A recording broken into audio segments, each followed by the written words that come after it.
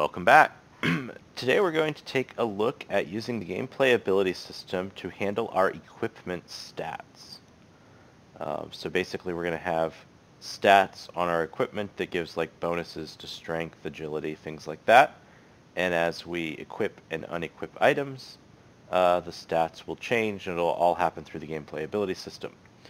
Uh, we don't have an inventory system yet. We don't have an equipment system yet. So this is just kind of a prerequisite as we move toward that. Uh, we'll eventually add those systems. Uh, we're going to do something a little bit different today. We'll see how well this goes. Uh, so normally I have a second project uh, that I basically do everything in advance, test it all out, fix the bugs and everything. And, you know, sometimes it takes three, four, five hours. Sometimes it takes 20 or 30 hours of working in that other project um, for each video that I record here. Uh, but I thought it might be kind of fun today to attempt to do it without, so I have not done this in advance. I will be doing it for the first time in this project.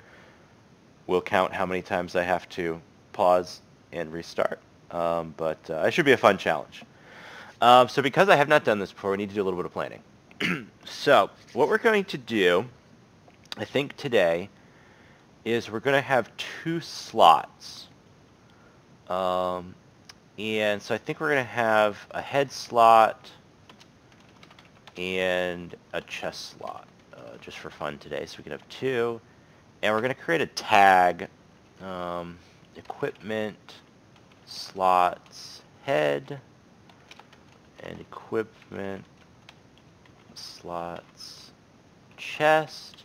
And only one will be able to be equipped uh, at a time in each of those slots. So we're going to use gameplay tags. These will be two gameplay tags we create.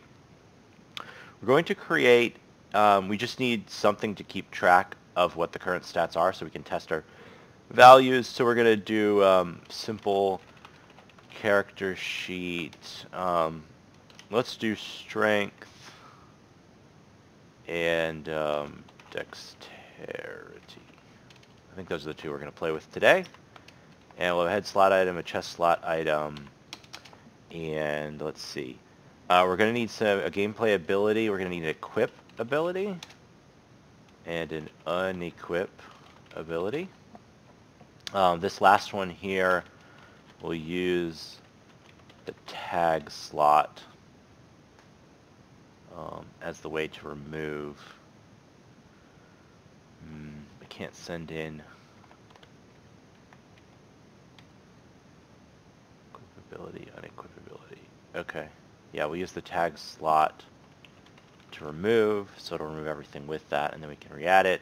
And um, we're going to use a data table to keep our equipment stats. And I'll try to look those up. Okay probably the first thing we have to do here is build a simple character sheet uh, just so we can just so we can uh, have something to track here. Um, okay, so let's go into our HUD, font, spellbook, we're to create a new one, character sheet. Uh, now I want to toggle project settings, set up our inputs. What do we got here? We've got toggle skill tree, toggle spell book, and now we need toggle character sheet. And we want to hook to C. that didn't work too well. But I'm pretty sure that C is already in use if I remember right, it's in our player controller.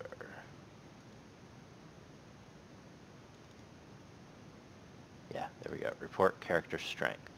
We don't need this anymore. Bye-bye.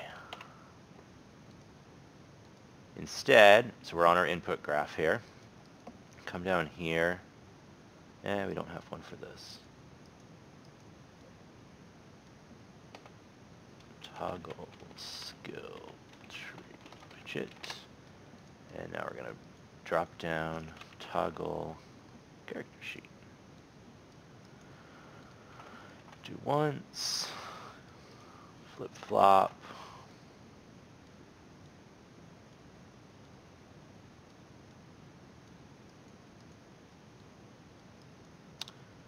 I don't, well, yeah, we're gonna need to get, we're gonna need to get values from here.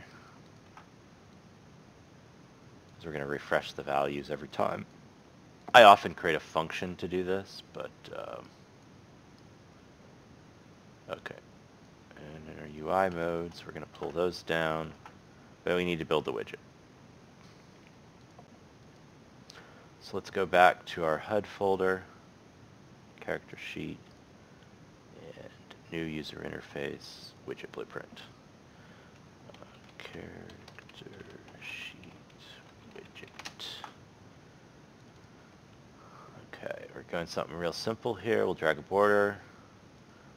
I usually go into image. I hate it when that happens.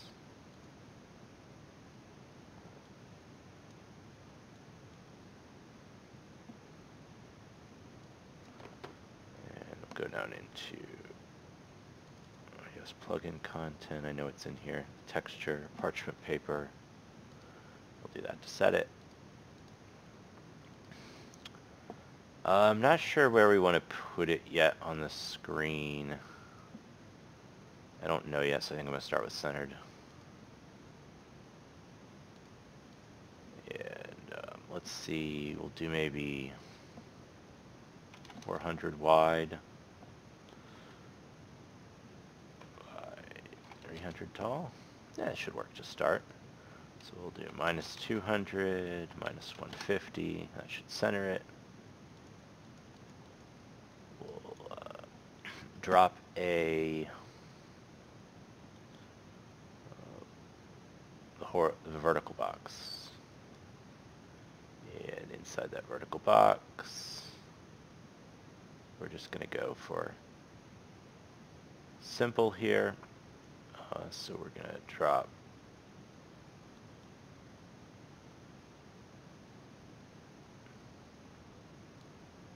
two horizontal boxes and in each one we'll put text, text, and another text, and another text. Okay. These ones are going to get turned into variables. This one's going to be um, label strength. And this one's going to be, so this is turning into a variable, so it'll bind it. So it's going to be label dexterity, dexterity, and then we'll just uh, strength. And this one,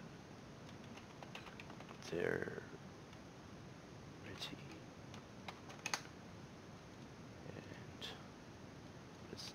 default these to zero. They're going to get bound. They're going to get set.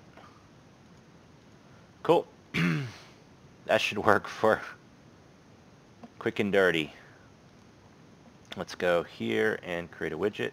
I'm in the third person player controller.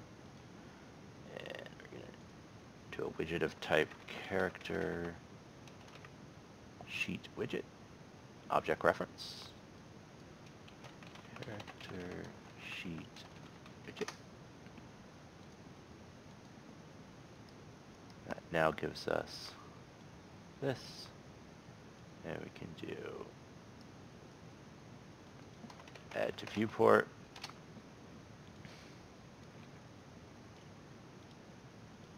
And we can do remove from. And this one's going to toggle here, and in between these is where we'll set the values. Probably need to give ourselves a little more space. Is for the UI mode. Though it's just a display, we probably don't need to actually show the mouse cursor, but eh, whatever. Um, okay, so this has labels we need to set. Um, I always think that it's set, but it's not set. you actually get the value, a reference to it, and then do set text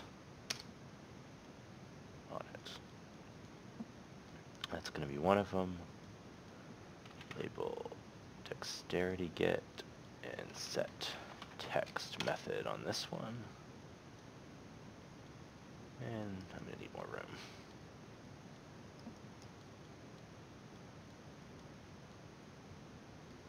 And then we're going to use the um, ability system component. Ability system. Yep. And um, get attribute. Okay.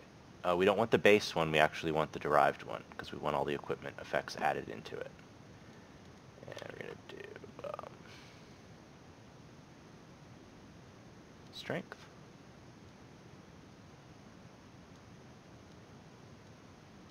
And that'll convert it. And then for this one, copy this. Connect it to the ability system. And change this one from strength to dexterity. And this will convert. So now every time that we toggle it, it'll go pull the latest values. So it should refresh on its own. Okay. Should be good. Um, let's try it out real quick. Uh, okay, if you haven't, from last time, turn Run Dedicated Server back on. Uh, turn that back on. We had turned it off last time because we were doing some testing with the RPG World Server. And uh, we had also been using a standalone game. We're going to go back to selected viewport, play an editor. And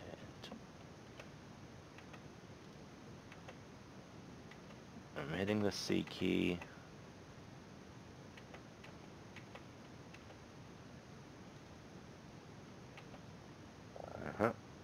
Uh, okay, I see the problem.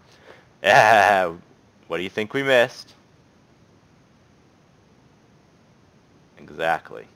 We, uh, we did not um, load this character sheet widget. So we got to come over to uh, event graph. We got this huge thing here where we load them all.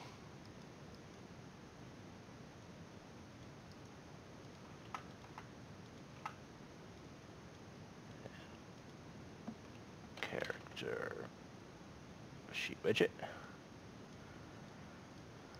And then we go down here and we'll do a set.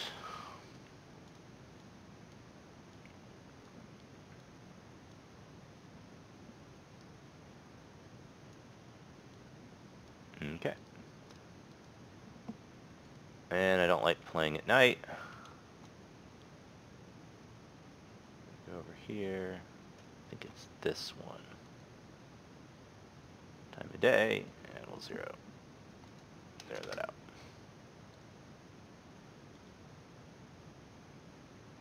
Okay, so now I'm pressing the C key. There we go. So 10 and 10. Those are our base numbers. Um, that's what it's pulling from the database. And um, so that's what we're going to be looking to see. I'm just hitting the C key to toggle this back and forth. We probably didn't need the mouse. Eh, we might in the future, though. Might be things we click on on the character sheet, so we'll leave it for now. Okay, cool. Step one. Um, okay, so we did this part here. That's done. We got to create some tags. Grab this. And we're going to go over to the abilities system. And we're going to do uh, my gameplay tags table. And we're going to hit the plus. Uh, tag for equipment head slot.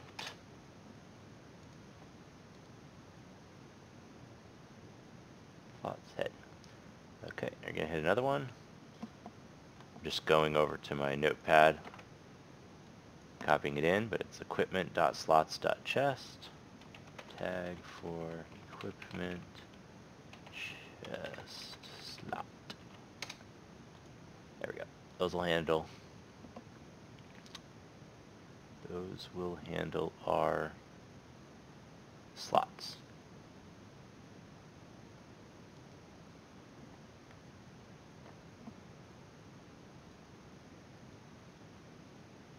Okay, um, so we've got that, and um, now let's make let's make an equipment folder.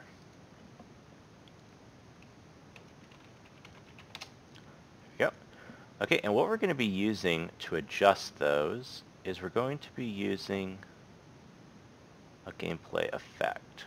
And we have to create one for each of the slot types, even though they're going to kind of be a copy of each other. So we create one and then we'll create another one. So we get a blueprint, gameplay effect. We don't want the template, we just want this one. Okay, and we're going to call this um, equipment head slot effect. Okay, and the way we're going to make this controllable is, uh, well first we're going to make it infinite, right? So once you put the equipment on, it doesn't expire. It stays until something changes it. And we want to run modifiers, but we want these modifiers to be able to be controlled from the data table. We don't want to have to put fixed values. Otherwise, we'd have to create a gameplay effect for every one of our pieces of equipment. And you could do that if you want. Maybe if your game only has a couple pieces of equipment, you could do that. I'm thinking like a thousand pieces of equipment, right? So I don't want to create a thousand effects that are all the same. So we're going to use the data table. So, okay, we got strength, and we've got dex, and we're going to go into the modifier so we're adding, we're adding a value. We're going to go in here where it says scalable float, and we're going to say set by caller. And we're going to go here and say set by caller. And what that means is that you can send in the right value. Yeah. Now the problem is, problem is that we need tags, and I didn't create them yet. So actually, I'm going to close that because it'll have to reload to pick up the tags back over here. And I think you'll see, do I have some set by caller?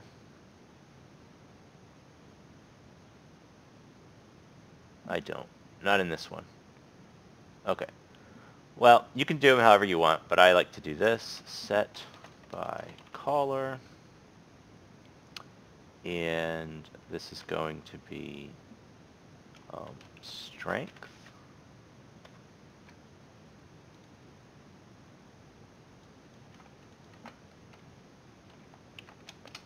And then another one set by caller dexterity. Unlike some of the other um, ones here that the prefix actually does something, I just made that up. You can call that whatever you want. Uh, gameplay cue is special. You have to call that gameplay cue. Um, gameplay event is not special. I just made that up. Um, and this set by caller format I just made up. But gameplay cue is special. You must you must prefix it with gameplay cue or it won't work right. But the others are made up whatever you want to call them. That works for me.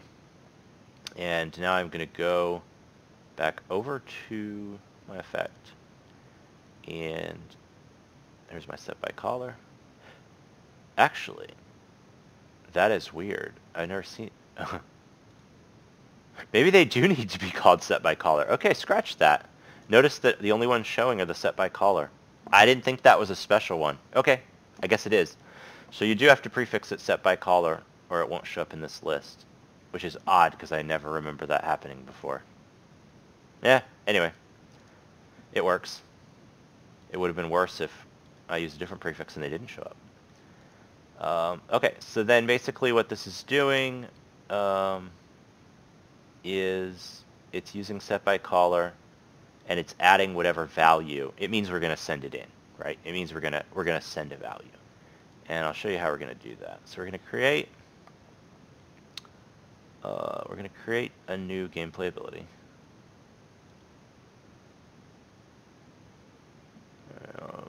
Just going to use the default gameplay ability. I'm going to call this equip item.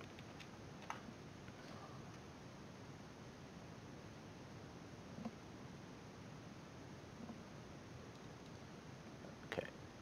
Over here, we don't want that like that. We're going to make an instance per actor, no, local predicted. This is the default settings for just about all of them. Okay, so what's going to happen here is that we're going to use something called apply gameplay effect to owner, but we're not going to use the effect. We're actually going to use effect spec to owner. This gives us some um, options the other one doesn't give us, and that's that we can build this effect handle. Uh, I think it's this one, make outgoing gameplay effect spec. It is. So here's where we choose our um, one. So we've got head effect. Okay. And what this lets us do is that we can uh, actually, you know what? Yeah, so there's a bit of a yeah, there's a bit of a problem here. We don't Ah, we'll come back we'll come back to that. So what this lets us do is we can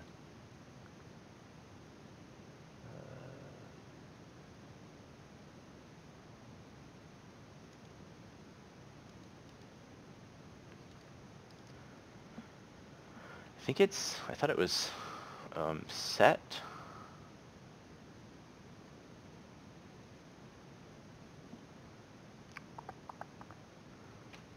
set by caller. Yeah, here we go. Assign, okay, so assign set by caller magnitude was the old method that didn't use tags. I have trouble, that doesn't seem to work for me anymore. So use this tag one, don't use the other one. And then we can pick that tag this one's not filtering by set by caller. Very interesting. And we can do one for strength. And we can do one for dex.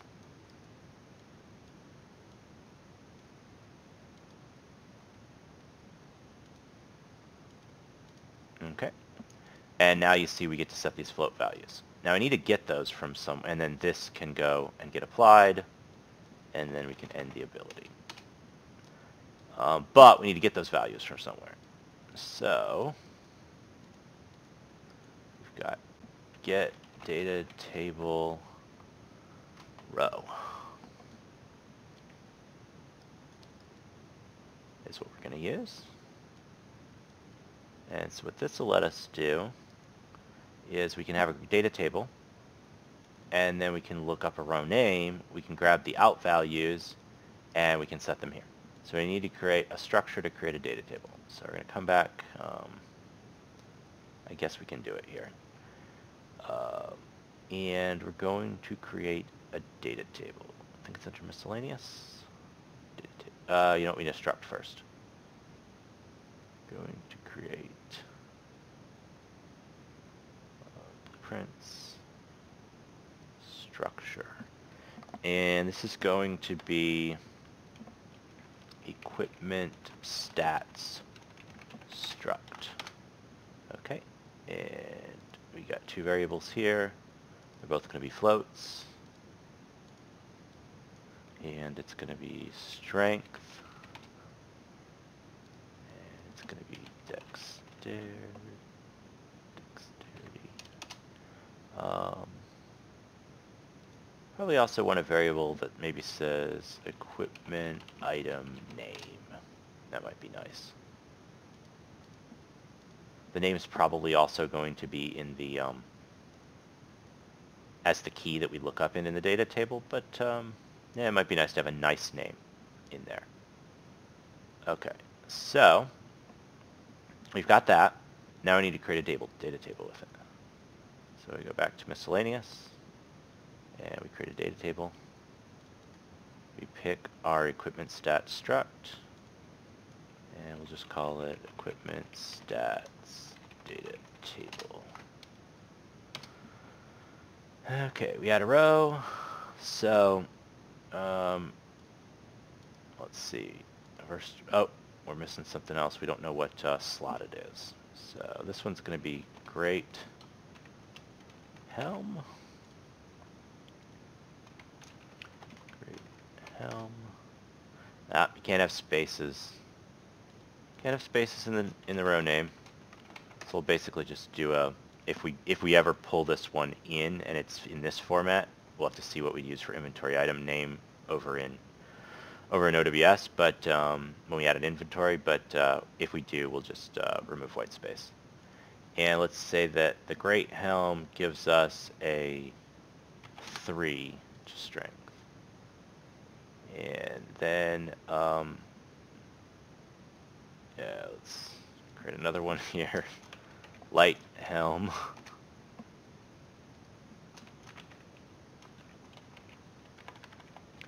and this one gives us, say, a 2 to dexterity.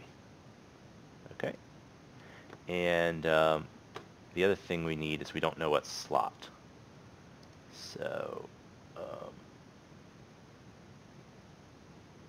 we need to know what slot. Let's go back to the equipment item struct, add a new variable. Let's see. I have not tried this. We'll give it a try. Can we use gameplay tags. It would be cool if we could. Let's give it a try. Um, equipment slot, because then we could pull it directly from there and not have to do a, a lookup. Let's see what happens when we come over here. Yes. Equipment, slots, head. Equipment, slots, head. Awesome. So now, when we come over here and we choose equipment stats data table, and pull the Great Helm here to begin with, row found, row not found, we need to just end ability. Hopefully that's not something that can happen, but might. And then we'll break this and this is where I need to make a change. So I had was going to create an effect for each one of these equipment head, um, but actually we don't need to do that. And the reason we don't need to do that because I saw there's another one here called add asset tag. So let me show you what how that works.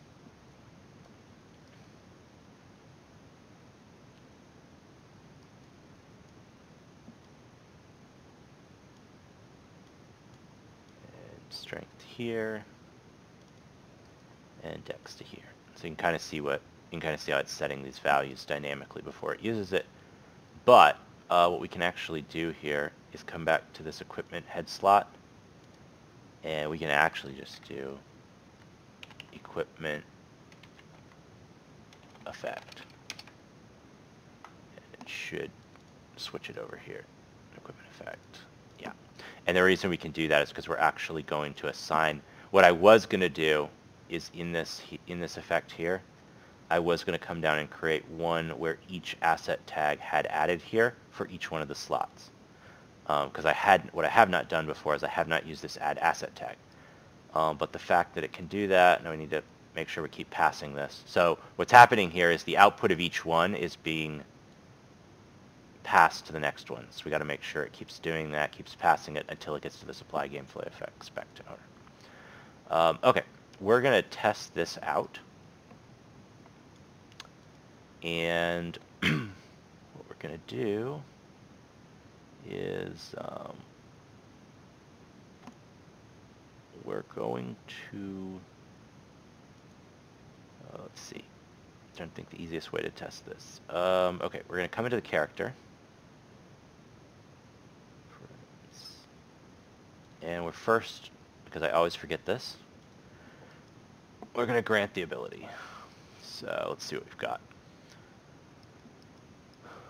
Um, okay, we didn't create any. Sometimes I create a... Uh,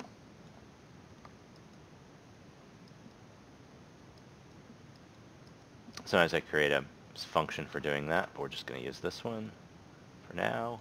Eventually we'll refactor. And this is the equip item. So we now got that ability. And then um, temporarily, we're just going to, for testing, going to try to come up with a some key that's not being used, which is getting harder and harder. Um, mm, mm, mm, 1 through 0 is bound. Uh, I don't know if the plus or equals key.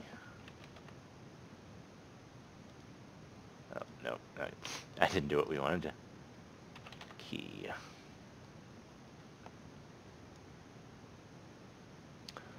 Um, let's see. I don't know what other keys are being used. Let's see if we can find underscore. I don't think underscore is being used. So this is the one between the zero key and the equal plus equals key. Yeah, we'll try that. This is why you use input, so you can remember where they're all going. So we're going to do a do one, uh, do once, and then we're going to do try activate ability by class. And the ability is going to be equip item.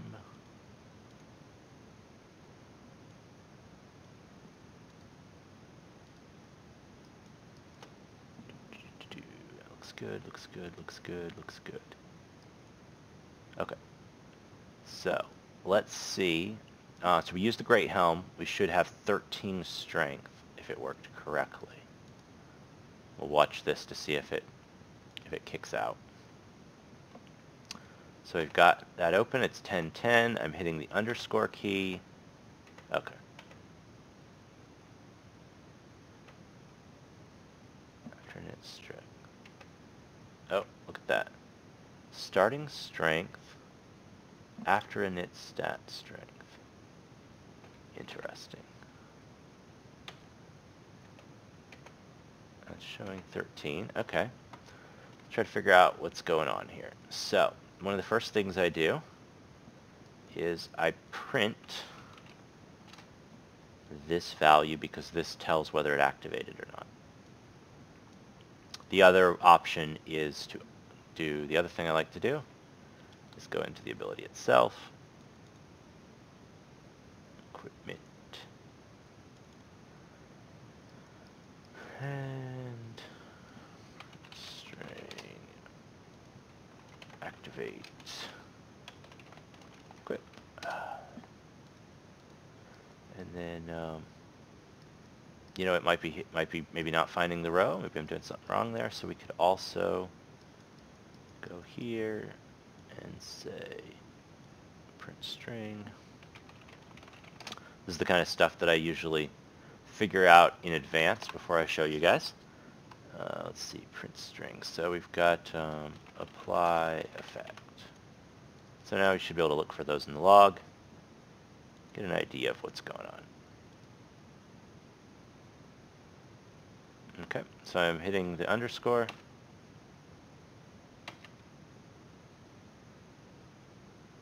Oh, that was mob C1 that was getting that other message. Okay, so we're not getting anything on the underscore. Um, so there's one spot more we could have we could have failed at. This is the kind of debugging you have to constantly do. Uh, and we'll just say underscore pressed. But it actually, it should have output this other thing, so I don't think it's actually getting to this underscore, which probably means, probably means that one was already in use. This is a common problem. And you see how they say consume input, so if something consumes it before,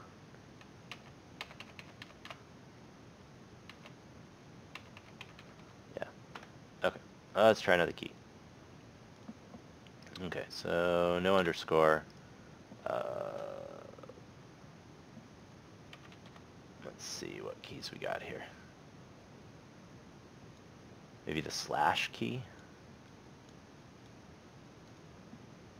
Yeah, this consume input here means that it pulls it out of the uh, input buffer and none of the others, nothing after it. Once one consumes it, if it's getting consumed somewhere else, I don't know what would be hooked to underscore though. I don't know. We'll see if that's our issue. So now I think this is the slash over on the number keypad.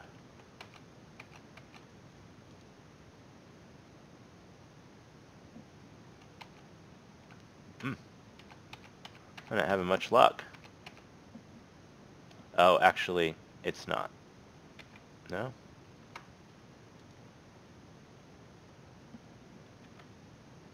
That's weird. On focus lost. Huh. Usually I don't have this much trouble just getting it to, um, to call a key.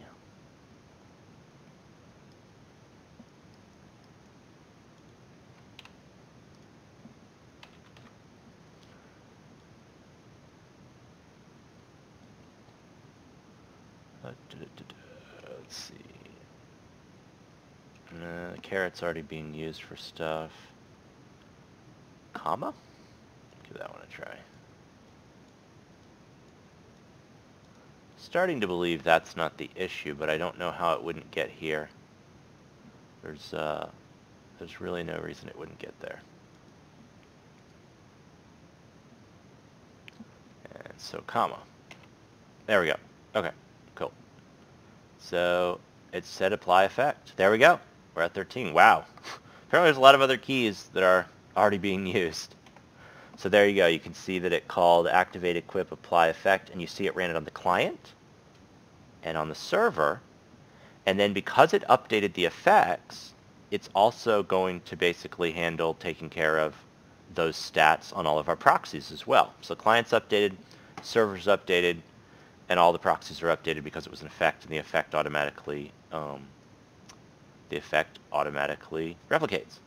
Um, so that's pretty cool. So we got that. Now, there's a couple potential problems. I have a feeling that in its current state, that if I run it again, it goes to 16. Well, that's not what we want. You can't equip two helms. So, um, let's see. What we want to do. First, I don't need some of these. Eventually, you leave too many and they get annoying. Um, go back to our ability. And what we really want to do is make sure that we remove anything before we re-equip it. And so what we want to do is do a remove. So let's go to our equipment. And this will also form the basis of our unequip. So the first thing we want to do is come here. We have our equipment slot.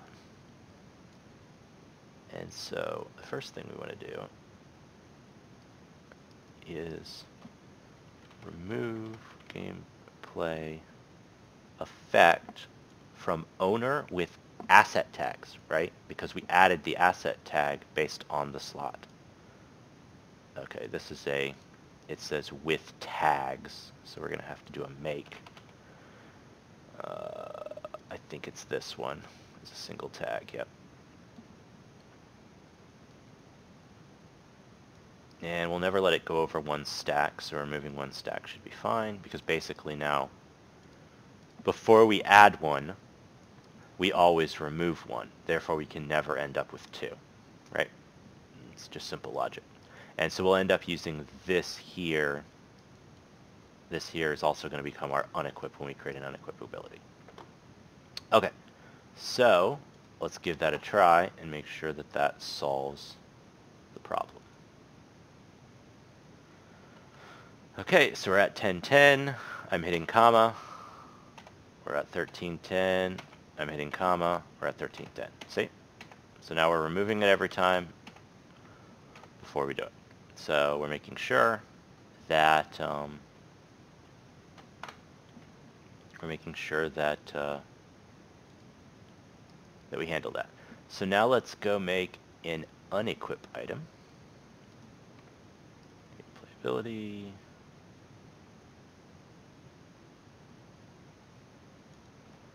And here we go. Unequip item. Remember, always come over here, first thing you do, instance per actor, uncheck this, leave it local predicted. I'm going to come over here, I don't want that anymore. And I'm going to grab all this.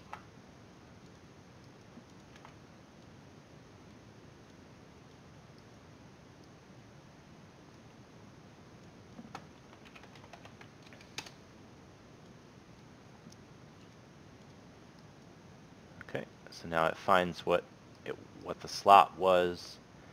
Uh, yeah, so technically what we really want to do here, we don't want to choose an item.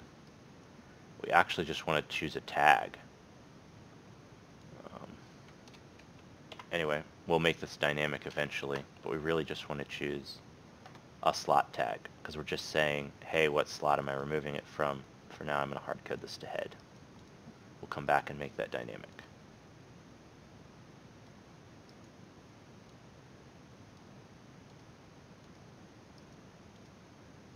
Good, good, good. Okay. So we're good there. We're good here. Let's go back here and uh, we'll start by granting the ability. Wait. I put that on the... Ah.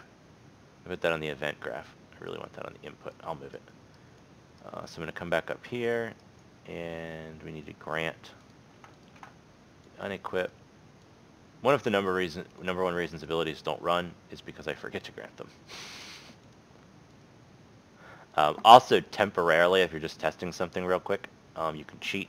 Go to class defaults, and if you come down to any of these abilities one through zero, even if you're using them with a try activate ability, just dropping them in one of these slots automatically um, automatically uh, uh, uh, grants them. Or you can just, if you're testing, just like find a slot here you're not using, drop it in 9 and press 9. Uh, we're not going to do that here. I thought about it. Okay, so we're going to come back here, and I'm grabbing this, I'm cutting it, I'm going over to the input graph, where it should live. And I'm grabbing this and I'm copying it.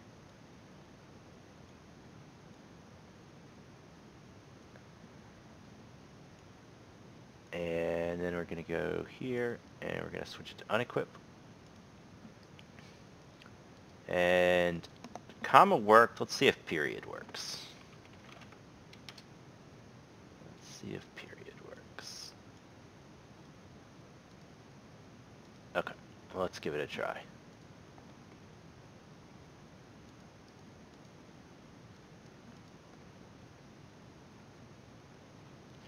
And so here we go. We've got that. I'm now hitting comma. We're at 13. Hitting period. We're back at 10. And hitting period multiple times. Oh, actually period is used by something else. Character level increased. Great. Okay. Not period. um, anyway, these were just for these are just for testing anyway. Um, so that actually is is fine. But yeah, period apparently was used for something else. Let's um, let's go find what that is and dump it, just because it's going to get in our way in other cases. Um, first, we'll check the project settings. Make sure period's not assigned to any of these. Spacebar.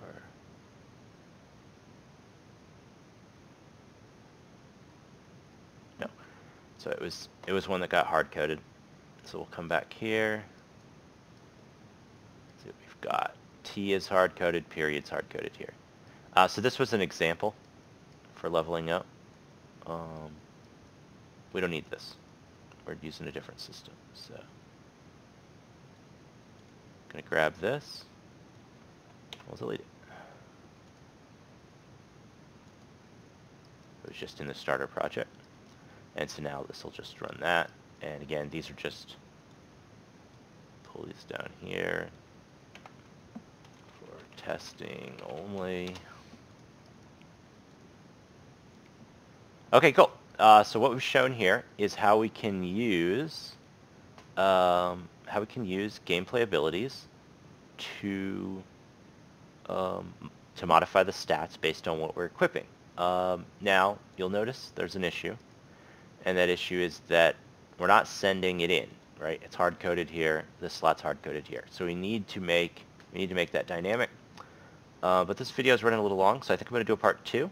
Um, so this is going to be the end of part one. And in part two, we'll come back and, uh, and deal with um, making these dynamic and um, setting up uh, a better test UI. Uh, we'll do multiple items and multiple slots, and maybe we'll set up some buttons or something we can press or some drop downs we can use. This is what we do in our game, since we don't have an equipment system yet, is people can open up a dialogue and start just picking what equipment items they want for testing. Uh, so I think we're going to do that in part two. Uh, so until next time, see ya.